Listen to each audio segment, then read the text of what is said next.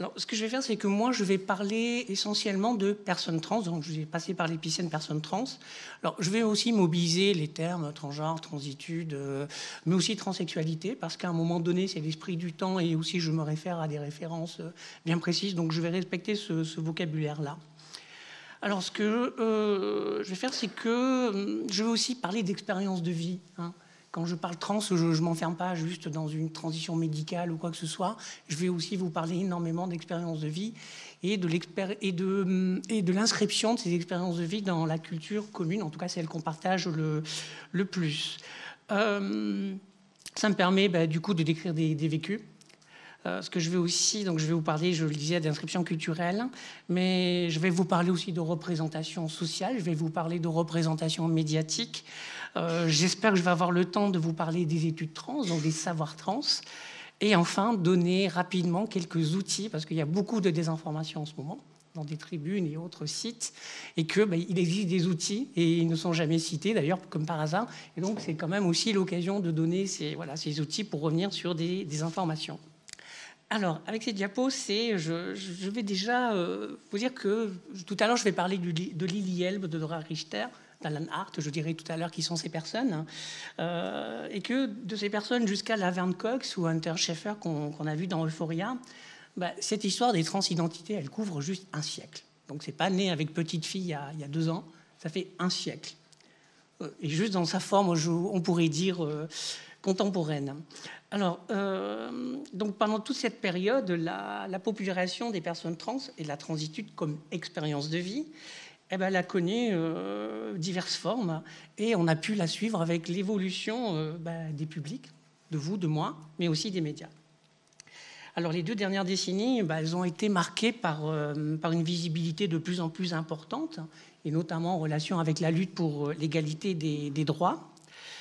mais aussi, on il y a toujours des traitements de glamorisation de voir de pipolisation, donc de certaines personnes trans connues, de célébrités trans, hein, et on aurait le sentiment que finalement bah, tout va mieux et tout va beaucoup mieux. Euh, bah, moi, je dirais que les deux dernières années, bah, elles sont le théâtre de ce qu'on peut, peut nommer un backlash, euh, avec des rhétoriques, euh, moi, de ce que je nomme des rhétoriques anti-trans, qui mobilisent des stéréotypes et des caricatures que j'ai étudiées il y, a, il y, a, 30 ans et que je vois revenir aujourd'hui à grands pas. Euh, avec beaucoup d'excès, je trouve aussi, et que euh, ce qu'on peut voir, enfin, on peut comprendre, c'est que cette inscription euh, culturelle des personnes trans, donc, elle mobilise, hein, elle met en tension bah, justement des, enjeux de représentation, et on voit que la représentation et que l'image, la visibilité, c'est une lame à double tranchant. Alors ici, je dirais que l'autre, l'autre enjeu, s'il y en a un autre, c'est que par rapport à l'esprit du temps, donc l'esprit, euh, je sais pas, ces années aujourd'hui 2020, c'est pas la même chose que les années 1980. Euh, que dans cet esprit du temps, euh, à chaque fois, on, voit, on voit émerger des, représentations. elles apparaissent, elles se diffusent, hein, elles évoluent. Et elles ont aussi des effets sur la vie des personnes qui sont représentées, et c'est bien pourquoi je parle d'enjeux. alors ici, c'est cette question de la transidentité et de la non-binarité, donc elles ne sont pas nouvelles. Alors en termes de recherche, depuis une vingtaine d'années, euh, notamment, euh, on voit des universitaires qui s'intéressent notamment au monde antique, hein, euh, en Grèce, en Égypte, en Byzance. on s'intéresse aussi, aux sociétés nordiques et notamment à la société viking sur ces questions de changement de genre. Alors ici, je vous partage des représentations donc de culture non binaire actuelles, mais aussi passées, certains ont fait l'usage d'utilisation des usages exotiques. Certaines de ces photos ont utilisé dans des objectifs exotiques, exotisants. Moi, je veux aller au-delà de, cet aspect et je pense que ces représentations, bah, elles participent aujourd'hui à l'inscription de la question trans dans cette culture commune dont je parlais tout à l'heure. Et je parle donc, encore une fois, j'insiste, de la plus partagée. Je ne dis pas que c'est la culture de tous, mais c'est celle de la plus partagée. Et par les médias notamment.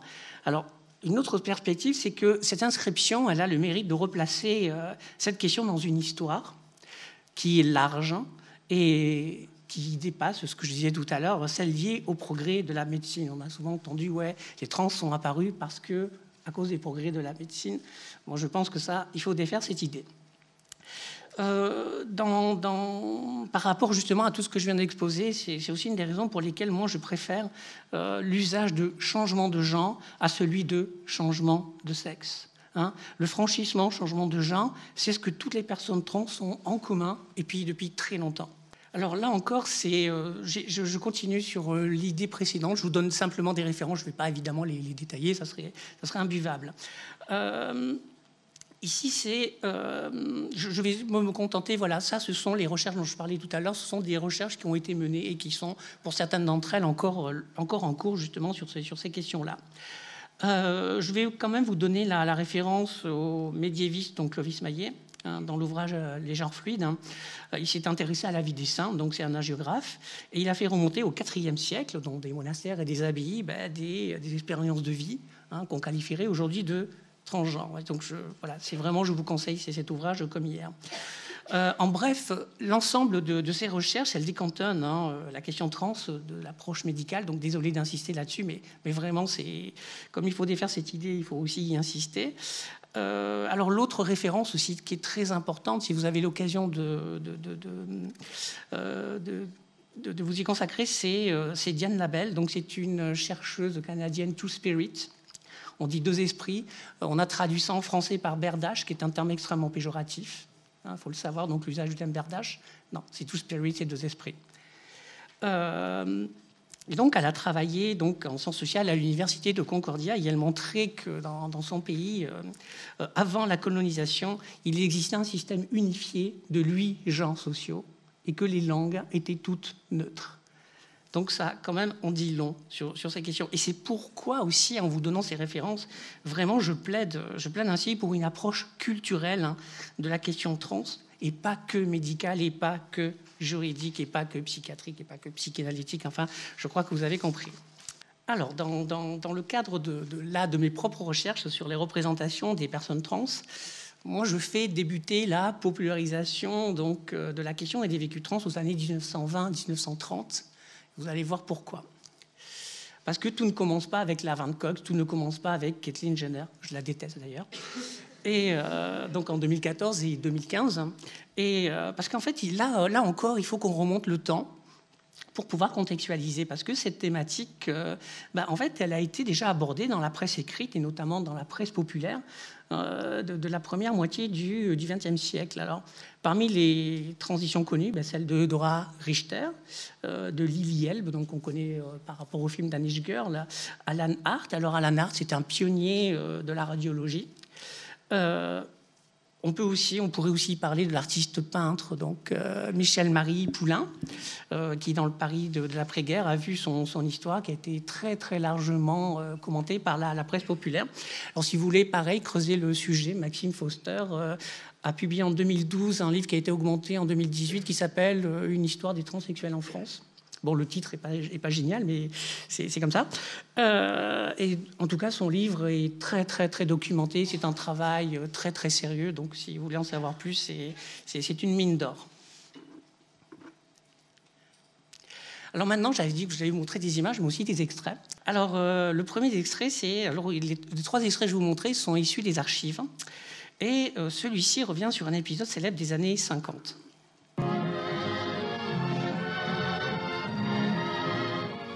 Christine Jorgensen, who used to answer to George, creates quite a stir as she returns home to New York from Copenhagen. Christine hit the headlines following the series of operations in Denmark that transformed her from a boy into a girl. Very impressed by everyone coming. Alors, là, il s'agit de la première médiatisation à l'échelle mondiale hein, d'une euh, euh, personne trans. Donc, euh, en tout cas, ce document, il revient sur le, retour de Christine Jorgensen donc, euh, à New York en 53. Elle est opérée en 52 au Danemark par le docteur Hamburger, euh, donc, et, au, Danemark. Et donc, à l'époque, elle est, sacrée, donc première, première transsexuelle opérée d'histoire. Je prends la terminologie de l'époque. Évidemment, la donne a changé parce qu'en 2014, il y a eu l'adaptation donc du biopic de, la vie de Lily Elbe. Donc le film s'appelait The Danish Girl. Et dans les médias, tous les médias se sont mis à parler de, euh, de Lily Elbe comme la première transsexuelle de l'histoire. Probablement que si un jour un autre film va s'intéresser à Dora Richter, ça sera Dora Richter et puis peut-être quelqu'un encore d'autre avant. Euh, comme quoi, on se fait détrôner facilement. Alors pour en revenir à, Jorgensen, ici, euh, la première fois que j'ai vu ce document, euh, que j'ai récupéré d'un documentaire de Suzanne Stryker, qui est une sommité euh, en la matière, c'est ce retour célébré, parce qu'à cette époque-là, c'est vrai que quand on voyait Sophia, Loren et tout un tas d'autres artistes, hein, il y avait ces fameuses descentes d'avion sous les crépitements des appareils photo, etc., des journalistes, c'était quelque chose de fréquent. Et, quand j'ai découvert ce document en disant, mais Christine Jorgensen a été accueillie comme ça, j'ai dit, waouh, c'était plutôt bien parti, quoi, c'était pas mal. Et ben non, en fait non et je vais vous en parler. Alors, on dirait que tout se, passe bien. Et alors oui, il y a quand même à l'époque, il y a eu des titres euh, racoleurs, par exemple ex-GI, donc l'ex-GI qui devient une beauté fatale, euh, une blonde fatale. Voilà, bon, on peut dire que c'est un peu racoleur. Alors, mais on a l'impression, avec les actualités, que ça se passe plutôt pas mal. Le truc, c'est qu'en 71, donc, il y a un biopic qui a été euh, réalisé par Irving Rapper, et on montre la même scène. Mais cette fois-ci, on voit les moqueries des, journalistes, on voit les, journalistes qui se moquent de, Christine Jorgensen. Et du coup, euh, ce qui est intéressant, c'est que dans ce film-là, Christine Jorgensen, elle est consultante. Donc c'est elle, cette fois-ci, qui prend la parole et qui raconte l'épisode de son point de vue. Et, euh, et en fait, sa version, c'est pas du tout la même que celle qu'on voit dans les actualités. On a le sentiment que tout se passe bien, puisqu'elle a fait l'objet de, de, nombreuses moqueries pendant cette descente d'avion. Alors, euh, c'est quelque chose aussi que j'ai expliqué hier, je vais y revenir, c'est que, euh, pareil, euh, Christine Jorgensen, on l'a rangée dans une sorte de, case, la case transsexuelle, le bon récit transsexuel. Alors, dès les années 70, dans des interviews, elle expliquait hein, que ce terme transsexuel lui déplaisait beaucoup, qu'elle préférait le terme trans d'union genre. Donc, d'une certaine façon, elle était en quelque sorte un peu pionnière. Euh, bon, pour un petit peu répéter aussi ce que je disais hier, elle disait la sexualité, c'est avec mon copain, le genre, c'est qui je suis. Euh, alors aujourd'hui, euh, beaucoup de récits reviennent sur ces amplitudes. Vous voyez donc cette photo entre GIs et puis après sa, transition. Et moi, ça m'a toujours fait penser qu'avec ce titre de GIs, moi, je, presque j'imaginais Christine Jorgensen sur les plages de Normandie, ce qui n'était pas le cas. Elle était au secrétariat, mais c'était tout aussi héroïque. Bon, voilà. Mais euh, ce dispositif, eh ben, en fait, il nous apparaît familier parce que si on y réfléchit, euh, on, nous a habitués à mettre en scène cette amplitude hein, euh, dans, les médias. Et puis maintenant, ça fait, si on compte, ça fait plus de 50 ans, ça fait plus d'un demi-siècle. Euh, et ici, dans, ce cas-là, alors euh, ces montages avant-après, bah, c'est le grand classique de la représentation. Alors aujourd'hui, ce qui a changé, c'est qu'on retrouve ce type de, mise en scène des, transitions avant-après, mais cette fois-ci, c'est les personnes trans elles-mêmes qui le font. Et là, mais ça prend une toute autre. Il faut les lire différemment, parce que cette fois-ci, le fait que ce soit les personnes elles-mêmes qui le fassent, on ne peut pas euh, on ne peut pas regarder euh, euh, ces, récits de la même façon parce que ce sont les personnes concernées qui le font, ce sont les personnes sous-titrées qui les commentent. Ils font les sous-titrages, j'ai envie de dire. Et ça fait aussi partie, je crois aussi, d'une subculture de groupe. Alors ici, alors là, je vais vous montrer un deuxième extrait, encore issu des archives. Alors c'est une curiosité, je vous le dis d'entrée. alors surtout, notez bien la date, on est en 1957 donc par rapport à Christine Jorgensen 1,53. Euh, Et surtout, écoutez les premiers commentaires. Ce même souci nous amène à parler des changements de sexe fréquents à notre époque, et particulièrement de la métamorphose de Sébastien Companis, un ancien de la Légion étrangère. Aujourd'hui ouvrier spécialisé dans une usine de Nîmes, habillé en homme, il gagne sa vie en exerçant un métier d'homme.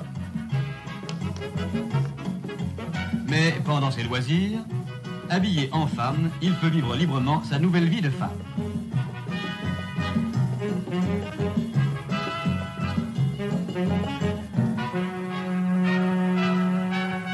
Il a bien voulu nous expliquer les circonstances de sa curieuse métamorphose. Avez-vous choisi un prénom? Euh, oui, j'ai choisi un prénom que Christine. Christine. Et quels sont vos projets?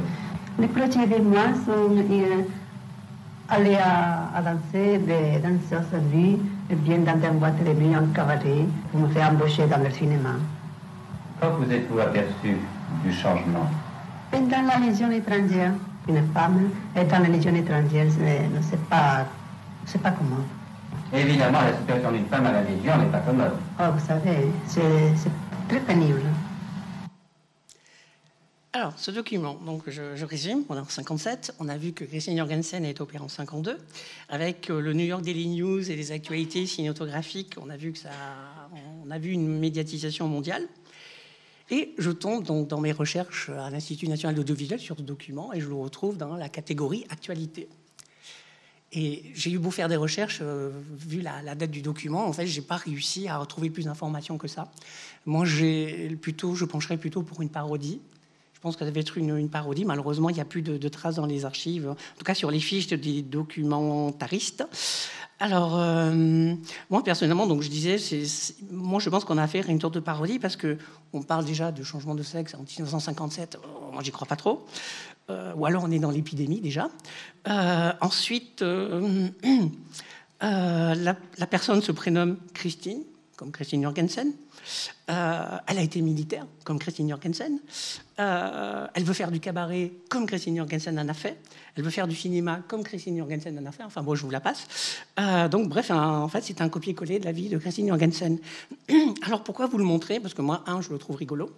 Et le second, c'est que on voit déjà comment la popularisation, en fait, elle s'empare de la thématique. Et donc l'extrait qui va suivre, hein, justement, va en donner une toute autre mesure.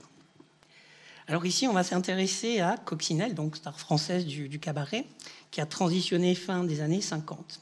Alors voici comment elle est abordée, donc comment la question trans à travers euh, Coccinelle est abordée dans une émission phare, donc vraiment une émission emblématique de la de l'ORTF. Donc euh, voilà. Qui donc regarde cette foule manifestement inspirée? Une femme, naturellement, quelle question? Et naturellement de la meilleure espèce.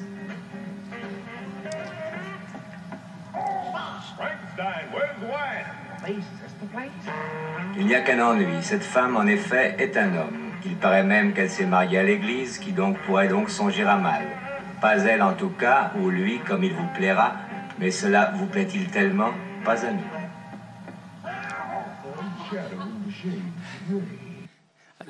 Fallait vous le montrer, hein, celui-là, ne serait-ce que déjà par rapport à, à celui de Christine Jorgensen, puis l'autre, puis celui-là. Alors, dans, mon travail d'archive, j'en ai trouvé d'autres, notamment la même émission, euh, souvent, donc, euh, Coccinelle, elle est aussi à Cannes, et en général, il y avait toujours un petit moment où Reflet de Cannes s'intéressait à elle. Dans un autre extrait, on la traite de Marilyn Monroe qui aurait mangé trop de choucroute, par exemple. Mais voilà. Voilà, et donc ça, on trouve, on les retrouve dans les archives ces traces-là. Euh, alors pour l'anecdote, ce qu'il faut savoir, c'est que donc euh, Coccinelle, elle se marie effectivement à l'église, elle se marie en blanc. Euh, donc en 61, ça va faire une grosse polémique.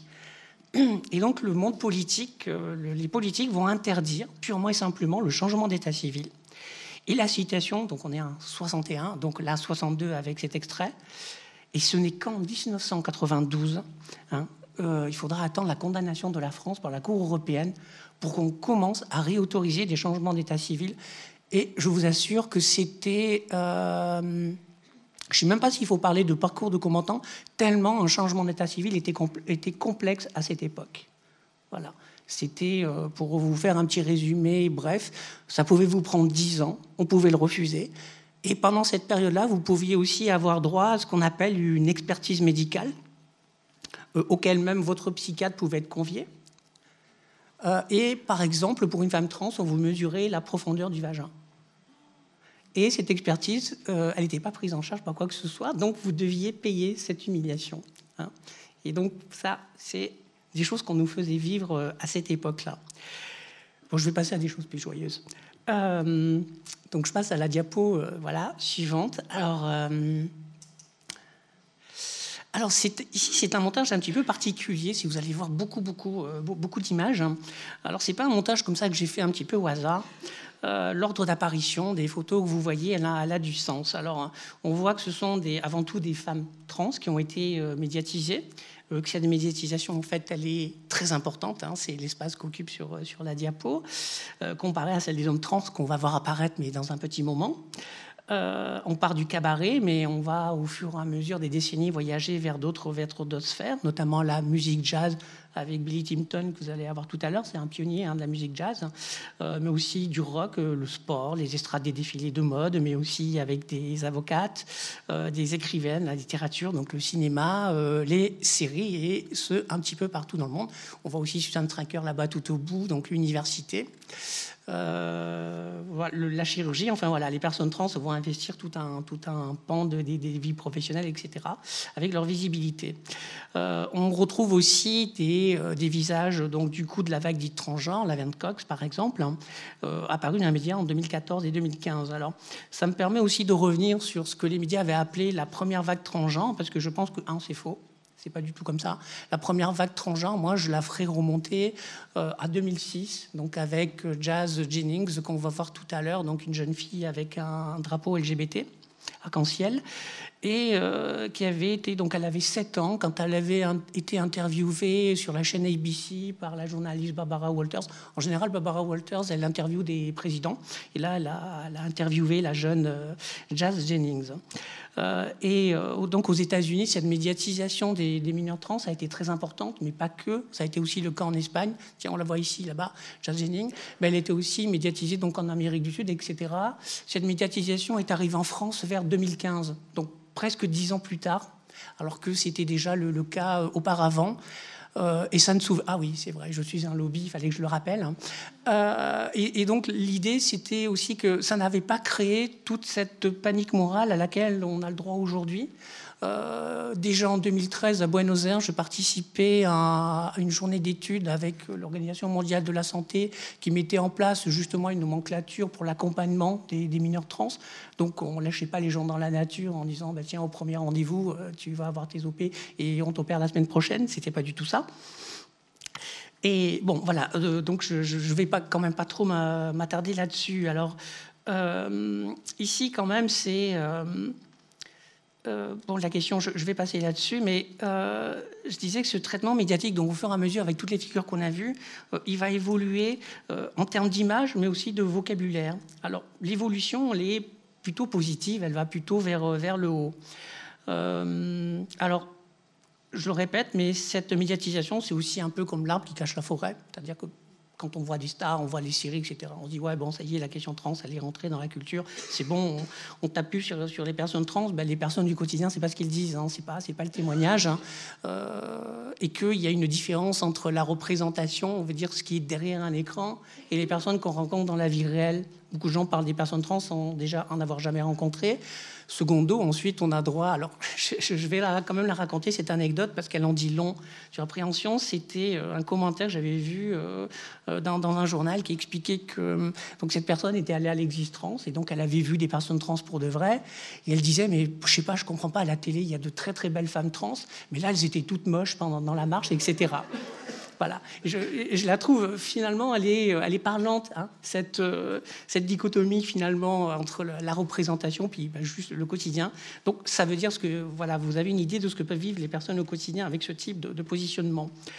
Alors, euh, qu'est-ce que je pourrais encore dire? Alors, euh, oui, c'est que quand même, depuis fin 2019, ben, on assiste à une épidémie de transphobie cette fois et qui s'exprime ben, sans retenue, donc à travers des tribunes sur les réseaux sociaux. On se voit taxé de lobby, d'où cette illustration, de transactivistes aux conduites fascistes, je cite encore, euh, et j'en passe. Alors, euh, je, je, me répète par rapport à hier. Donc, si on prend juste le point de repère du changement d'état civil simplifié qu'on a depuis 2017, et je vous assure que selon où vous demandez votre changement d'état civil en France, c'est pas aussi facile qu'on le dit. C'est il y a des endroits où c'est très compliqué, même un changement de prénom est très compliqué, et qu'un procureur peut vous renvoyer devant le juge s'il a le moindre doute. Votre passing, par exemple, si vous ne faites pas assez homme ou pas assez femme, on vous refuse le truc, et vous devez passer par la procédure d'avant, c'est-à-dire très compliquée, très longue et très coûteuse, et très humiliante.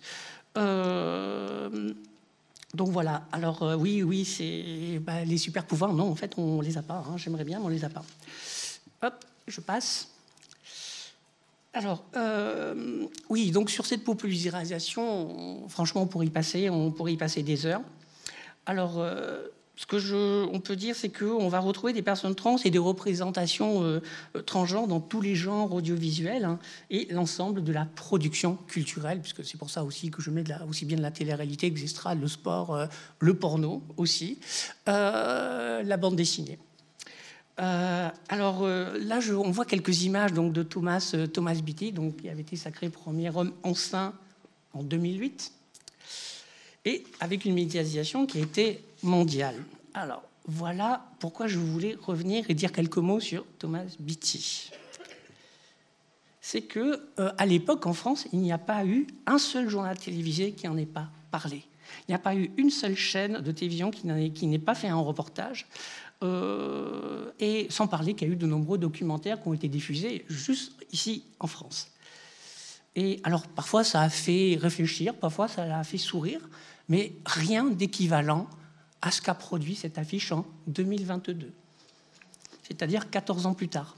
Hein, avec beaucoup de violence, puisque Laurier de Fox a même reçu des menaces de mort et a dû subir une vague de haine suite à cette affiche, hein, où les personnes ont vu, donc, dans, tant que c'est un couple d'hommes, dont un homme trans qui est enceint, et d'autres personnes ont vu une femme à barbe. Alors qu'en fait, juste Laurier, il a voulu dessiner voilà, deux hommes et s'affranchir des, normes, des, représentations, des, de normes de genre. Euh, alors, moi, une des questions que je me pose, c'est euh, qu'est-ce qui a changé? Qu'est-ce qui a changé en 14 ans? Hein? Thomas Beatty, ça n'a pas du tout donné lieu à cette violence. Pourquoi aujourd'hui cette affiche a donné lieu? Qu'est-ce qui s'est passé en 14 ans? On pourra peut-être essayer d'y réfléchir. Alors ici, ça va apparaître. Euh, c'était juste pour illustrer, euh, j'essaie de faire un panorama euh, qui soit bref, rapide et surtout essayer de, pouvoir parler de tout ce que je souhaite partager avec vous. Les séries, qui, à mon sens, ont joué un, rôle très très important depuis 2010 et pour plusieurs raisons c'est qu'il euh, y a eu l'audace, il y a eu, voilà, il y a des personnes qui ont eu de l'audace et qui ont voulu sortir des caricatures et des stéréotypes liés aux représentations transgenres. Je pense à Gilles Soloway, par exemple, dans Transparent. Euh, aujourd'hui, c'est Joey Soloway, d'ailleurs. Euh, comme quoi on contamine tout le monde. Euh, enfin bon, voilà, et je vous donne d'autres exemples. Euh, parmi les, les, raisons pourquoi ces séries aujourd'hui elles ont eu du succès, elles sont plus authentiques et certaines d'entre elles sont même, sont même bien, bien considérées par les personnes trans elles-mêmes. Hein. C'est parce qu'on est sorti évidemment des clichés, mais c'est aussi parce que des personnes ont été impliquées. C'est-à-dire, on va retrouver dans ces séries-là, on retrouve des personnes à l'écriture, on va retrouver des personnes dans les scénarios on va trouver des personnes trans qui ne jouent pas que des rôles de personnes trans, qui jouent aussi des rôles de personnes cisgenres, comme dans Transparent, par exemple. Et voilà, c'était important. Et tout ça, je pense que ça a contribué à faire évoluer les, séries. Euh, bon, je, vais, passer là parce qu'on pourrait en, dire long sur cette euh, question de l'implication hein, des, concernés dans la création de, de, de productions culturelles et de ce qu'elles peuvent amener en termes de savoir situé. Alors avec cette thématique trans, et là je vais passer sur la partie euh, des, savoirs trans et donc des, études transgenres, hein, euh, c'est que euh, ici se pose la question justement de ce passage hein, du statut d'objet de savoir à celui de sujet de savoir. C'est quand les personnes concernées commencent à produire des, savoirs aussi sur elles-mêmes. Hein. et c'est pourtant une question finalement qui est très méconnue. Hein, moi, je vois même dans le domaine universitaire, hein, c'est euh, auprès de, mes collègues, on ignore qu'il y a toute une histoire et que ces études trans, elles ont un socle historique et un socle théorique. Euh, donc on parle de transgender studies dans le monde anglo-saxon, on parle d'études transgenres ou d'études trans euh, en, France. J'ai co-organisé un colloque au mois d'octobre, hein, sur 2-3 jours, un colloque international sur ces questions-là. Sauf erreur de ma part, c'est le premier, c'est le premier dans l'ère francophone. Et euh, ça arrive quand même euh, bah, près de 30 ans après de ce qui se passait aux États-Unis. Donc là encore, euh, on rattrape, on rattrape notre retard. Alors oui, c'est important aussi de le souligner, c'est que euh, euh, ces, études trans, elles se sont développées sur euh, donc ces savoirs trans sur, sur, sur, sur, on va dire deux biais qui ont convergé.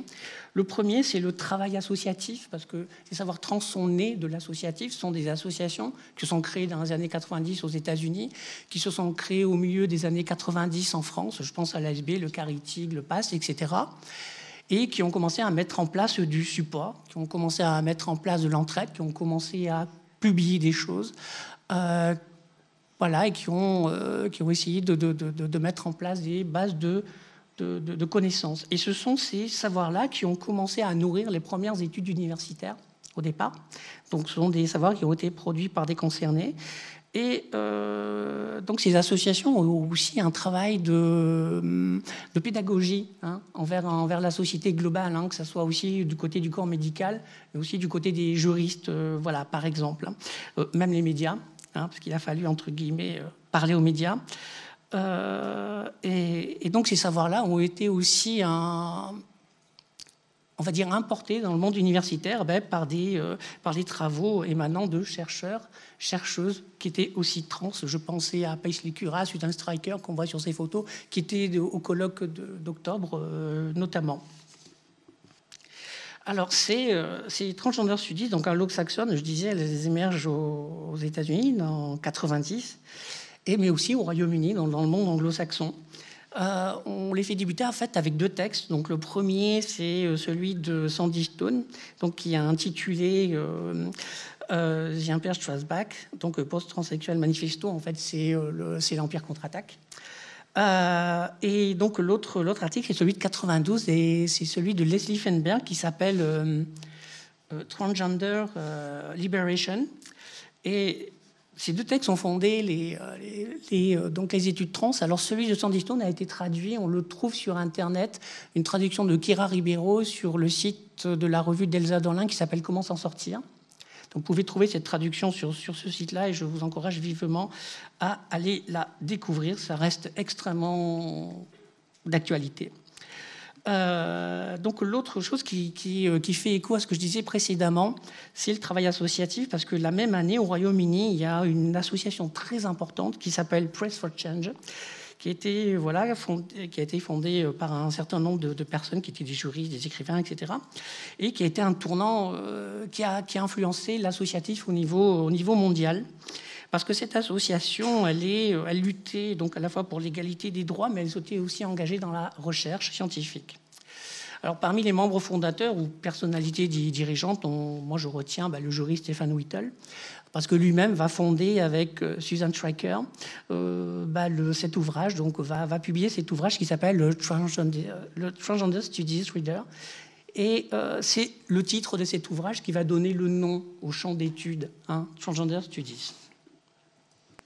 Alors ici, c'est euh, les analyses. Pourquoi je parle de Sandy Stone et je parle beaucoup d'elle Déjà parce que c'est une personne qui est absolument merveilleuse.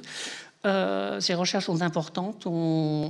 c'est avec elle qu'on mesure la nécessité de produire euh, des savoirs situés. Alors évidemment, comme je le disais hier, je me, je me, réfère à la, à la, recherche féministe, Nancy Harstock, Sandra Harding, Donna Haraway notamment. Euh, par savoir situer, je me répète, mais j'entends qu'on ne peut pas être invisible à soi-même quand on fait de la recherche. Je reprends l'idée que la production et la diffusion des savoirs sont matériellement situés. Je parle d'une position bien précise. Euh, ici, devant vous, je l'ai dit hier aussi, si je ne peux pas faire comme si je n'étais pas une femme trans qui mène une recherche sur les questions trans. Je ne peux pas faire comme si ça n'existait pas, c'est le cas. Donc, en bref, je suis très critique sur l'idée d'une toute-puissance de l'objectivité qu'on érigerait en vertu absolue. Alors, j'approche de la fin, c'est promis. Alors, euh, donc sur cette diapo, je, me réfère encore à cette revue. Donc, euh, Transgender Studies Quaterly, on retrouve toujours à peu près les mêmes personnes, Susan Striker, Paisley Cura, qui sont vraiment des, personnes qui ont beaucoup produit. Euh, ce premier numéro de, TSQ rend hommage eh justement à Sandy Stone et essaye de mettre en place et propose une boîte à outils, une toolbox hein, un peu à la Foucault, euh, sur les concepts clés des, études trans, donc euh, à l'attention des personnes trans, mais pas que, évidemment, de, la recherche euh, en, général. Dès l'introduction, donc, il est écrit que c'est le, que c'est le paradigme trans qui est lui-même au, centre, au centre de ces études. Alors en fait, qu'est-ce qu'on entend par paradigme trans? Eh ben, C'est son histoire, c'est la diffusion, c'est les représentations, c'est l'application qu'on fait, les logiques, sa politique, ses transformations définitionnelles, etc. etc. Euh, en fait, on appréhende des études qui, depuis les années 90, se sont constituées en un champ d'études interdisciplinaire, articulant d'autres champs d'études aux entrecroisements, c'est compliqué, je sais, de ces mêmes champs. Par exemple, les études de genre. Hein. Les, études trans ne peuvent pas exister sans les études de genre, mais aussi de sexualité, mais aussi des études gays et lesbiennes, mais aussi des études queer, puisque les études trans articulent ces champs-là et elles se trouvent aux entrecroisements de ces mêmes champs. Euh, elles s'intéressent aussi, ces études trans, au vécu des personnes.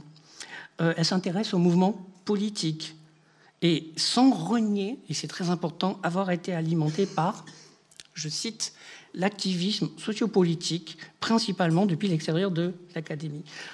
Pour le traduire autrement, euh, en fait, les, savoirs trans-universitaires se sont inspirés aussi de l'activisme politique tel qu'on l'entend aux États-Unis. C'est pour ça que j'utilise bien le terme d'activisme et pas de militance, parce qu'on est dans le cadre anglo-saxon et que ces études, eh ben, elles répondent à toutes les exigences de la production scientifique telles qu'elles sont faites dans les universités. Donc, j'en termine avec cette partie-là. Et ici, par exemple, ce que je vous montre, c'est ici, ce sont les résultats vulgarisé hein, d'une enquête très complexe et très très longue qui a été menée aux États-Unis. C'est une des toutes, enfin au Canada, c'est une des toutes premières euh, euh, enquêtes euh, sur les mineurs trans. Alors, il en existe d'autres et je vais vous donner une diapo assez indigeste, mais qui en recense un certain nombre et elles sont importantes. Celle-ci, je trouve, elle a le mérite d'être très accessible bah, grâce aux illustrations. Elle a été menée donc au Canada avec des universitaires qui ont mené des partenariats avec des associations. Et au Canada, il n'y. Euh, l'université ne regarde pas les associations avec condescendance. Les associations sont considérées comme des partenaires de terrain puisqu'elles ont une expérience de terrain que les universitaires n'ont pas. Donc ce sont des ressources précieuses, d'où des partenariats respectueux et équitables.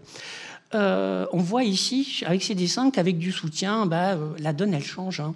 Alors en bleu, par exemple, on voit les effets du soutien et en orange, les effets du rejet. Le chiffre des tentatives de suicide est un chiffre fort de, euh, de, cette enquête. Et on voit très bien que quand on est rejeté, par, ses parents, par sa famille, bah, on se retrouve avec un taux de suicide de 57%, ce qui est juste énorme. Je, trouve le, taux absolument énorme.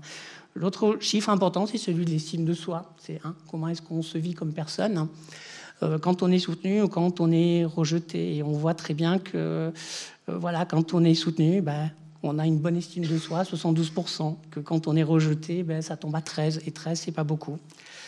Voilà. Alors, euh, j'ai envie de dire que je, regrette que certains discours passent, passent pour, sous silence ces enquêtes et privilégient des sources que parfois je trouve très questionnante, comme Sandy Stone, hein, dans son travail sur, les, sur certaines enquêtes, avec des, corpus qui posent limite, des, des, méthodologies que je trouve quand même questionnantes. Quand on choisit, par exemple, de, euh, travailler sur, des transitions de mineurs trans, et notamment je cite, de jeunes filles qui deviennent des garçons trans, mais qu'on on n'interviewe que les parents et aucun enfant moi, je trouve ça questionnant quand même. C'est comme si on menait une enquête sur l'autosatisfaction des personnes en EHPAD, mais on a interrogé tout le monde, sauf les personnes qui résident en EHPAD. Ça me paraît être un non-sens méthodologique. Voilà. Euh, donc, moi, j'encouragerais, euh, parce que je ne suis pas non plus euh, une mère fouettarde, mais j'encouragerais toutes les personnes, bah, il faut multiplier les sources d'information. Euh, il faut aussi bah, avoir le courage d'ouvrir les livres aussi qui sont issus des études trans. Il faut lire les personnes trans, surtout si on veut avoir des avis sur elles. Je pense que c'est quand même un minimum de voir euh, euh, qu'est-ce qu'elles disent de l'expérience de vie, quels sont leurs savoirs, etc. etc. Aussi s'intéresser aux travaux des associations qui œuvrent quand même dans des champs comme l'insertion sociale, le support, la santé, juste ça. Ça, ce sont quelques nombres euh, j'ai pas mis à jour parce qu'il y en a au moins deux ou trois qui sont sortis l'année dernière. Toutes ces enquêtes-là ont travaillé sur ce qu'on appelle les détransitions, c'est-à-dire les gens qui repartent en arrière et les gens qui regrettent. Euh, toutes ces enquêtes ont, en commun de, montrer que euh, c'est les chiffres aussi, selon les airs, de 1 à moins de 2% de taux de regret et de détransition. Toutes ce sont des équipes multidisciplinaires. Ce pas des militants, ce pas des, lobbyistes trans hein, qui ont mené ces, recherches. Ce sont bien des équipes médicales, ce sont des équipes universitaires. Euh, et il y en a d'autres. Alors le chiffre le plus élevé, c'était récemment dans une enquête américaine, je crois que c'est monté à 3%. Sur ces 3%, on a montré que 95% des personnes avaient dit oui, je suis revenu en arrière parce que je ne supportais plus le rejet familial, parce que je ne rejetais plus le harcèlement scolaire, parce que je ne supportais plus le, rejet des collègues au travail. Donc ça veut dire que même le taux de détransition doit être questionné. Alors moi, je veux bien qu'on avance des chiffres, hein, mais dans ce cas-là, il faut aller au bout de la logique. Et si on s'intéresse aux détransitions, eh ben, il faut aller jusqu'au bout. Il faut regarder les raisons de ces détransitions. Ensuite, les détransitions, elles existent. Ça ne doit pas être un sujet tabou. Et les personnes qui détransitionnent doivent être accompagnées. Euh, je pense que c'est important dans la vie. On peut, on peut se planter. On a le droit. C'est un droit à l'erreur, en effet. Qu'une transition trans, c'est pas rien. C'est responsabilisant. Euh, mais autant être accompagné. Hein. parce que quand on voit, euh, j'ai envie de dire, je, vais le dire brutalement, mais alors je ne vais pas parler pour les autres, je vais parler pour, pour mon cas.